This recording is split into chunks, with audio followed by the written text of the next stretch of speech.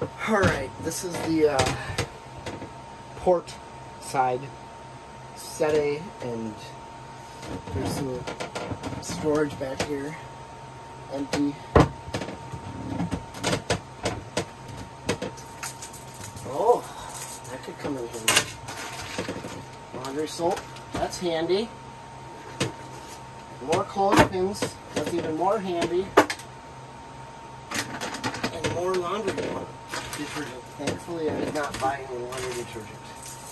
Uh, I wonder if I should keep this out to use it because I have quite a bit of stuff hanging up and drying all the time. This is the port side fresh water and the stern fresh water fill lines from the side of the boat. So I can fill from outside the two those two tanks. Um, but this boat has four tanks, so I can't fill them all. Unfortunately. And then another empty hatch for storage. So I have a lot of storage. This hatch is also empty. Besides, there's the uh, that's the toilet out area. There is some storage in there, so I can I can get my scuba stuff in here. I actually believe I think I can do that. I just need to get on that because it's getting wet. Um, and then back to this main section.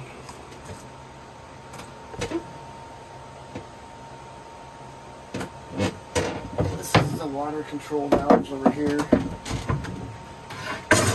And that's another water tank. It's not full, there's nothing in it.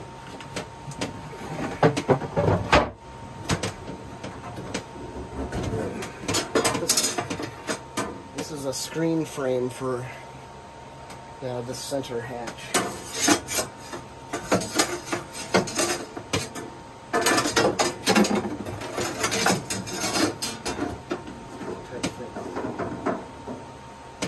So this one's full of water. And that's what we're going to switch over to, the port. We're going to switch over to this tank.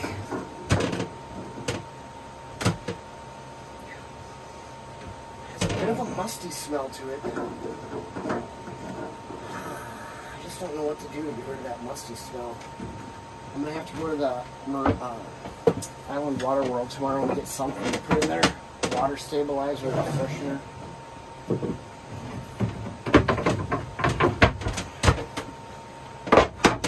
So then these are the these are the valves where you pick which tank you want to use.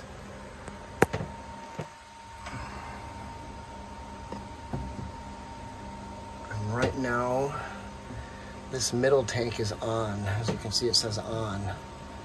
And so we're going to turn the middle tank off.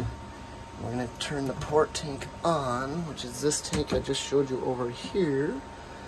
And there's a starboard tank and there's another aft tank. Um, having these two back tanks is okay to have full when you're out on the water because it keeps your ass down and nose up, so less splash. But um, we don't really need these side ones full. And then down there is a pump and a pressure. And there's a little bit of storage in there.